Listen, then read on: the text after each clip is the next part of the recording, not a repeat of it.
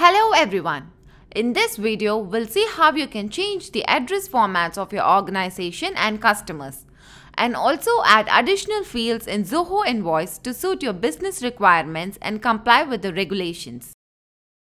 Let's see how to change the address format of your organization. Log into your Zoho Invoice account. Click the gear icon at the top right corner and select Preferences. Go to the General tab under Preferences and scroll down. You will find the existing address format of your organization. All the fields of your address are put in this format. For example, this denotes your current city, this your current state and so on. Each one of these is called a placeholder. They represent different parts of the address you enter. You can either choose to add more placeholders by clicking Insert Placeholders drop-down or choose to manually rearrange the existing format. Kindly note that apart from inserting placeholders, you can also enter additional information as default texts.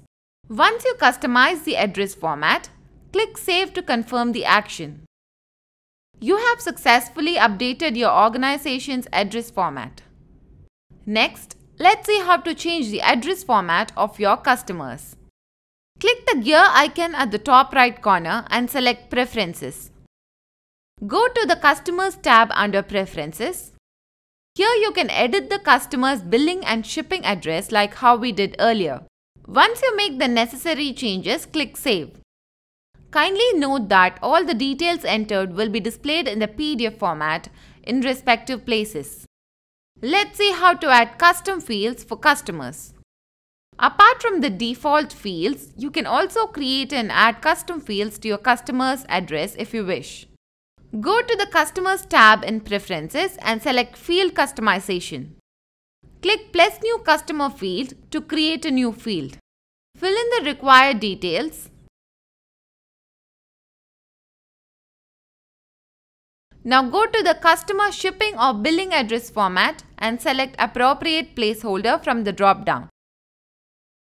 You can rearrange the field as per your requirement. Then click Save to confirm the action. The newly created field has been successfully added to the customer shipping and billing address format. Kindly note that you can also add additional fields to your organization's address format by following the same steps. Now, let's take a look at how the changes made in the organization address format are reflected in the invoice document.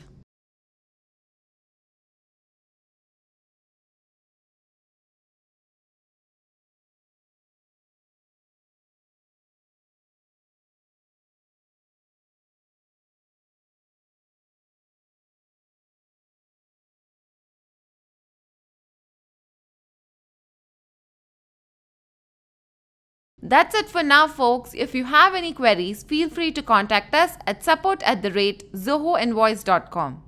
If you found this video helpful, do like, share and subscribe. Click the bell icon to get further updates from us. Thank you.